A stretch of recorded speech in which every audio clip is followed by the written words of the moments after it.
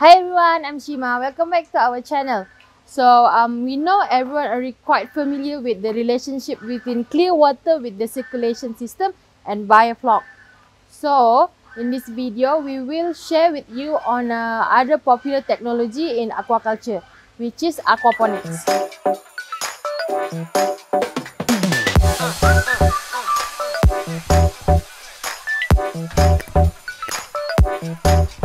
So aquaponic is a form of agriculture that combines raising fish in tanks with soilless plant culture. Aquaponic also applied to fresh and marine water. So some of the frequently asked question is how does aquaponic work or does it need high technology instrument? So a variety of vegetables have been planted with aquaponic methods. Some of it is tomatoes, pepper, cucumber, beans, peas and cauliflower. On our farm, we separate the fish heads during the feed preparation for the crab. You can refer to our previous video on step-by-step -step feed preparation for vertical mud crab farming. However, we do not throw the fish head. We use it for feed our marble goby or sun fish.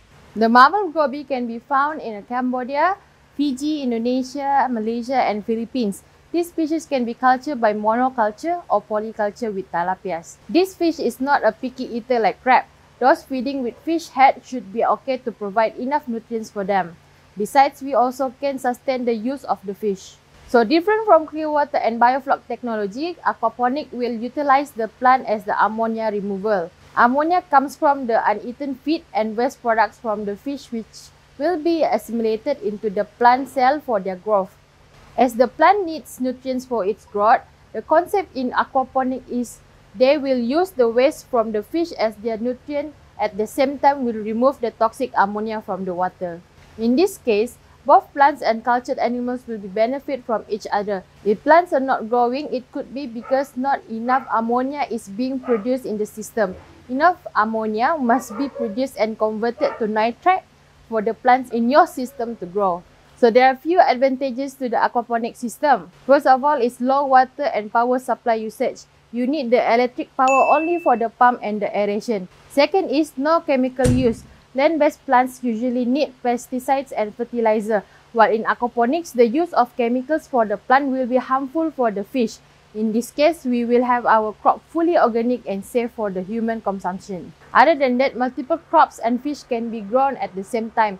You can expand the culture area according to your preferable capacity. So take note that the ammonia production must be able to be regulated by the plants so that the ammonia level will be at the optimum level.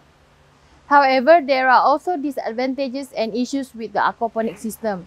Dysfunction of any pump or aeration would probably lead to the failure of the whole system. If no fast action is taken to solve the problem, you might lose your fish production. In this case, the dissolved oxygen level must be enough for your fish. The second advantage is fish will only solely depend on the aeration system efficiency in your aquaponic setup.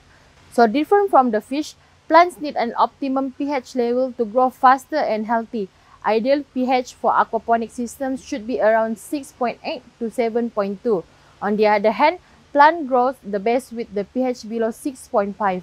It needs good understanding for both fish and plants so that the pH level does not affect their growth. You can either choose to culture freshwater brackish or marine water organism, but make sure that your culture animal and plants can tolerate the same salinity.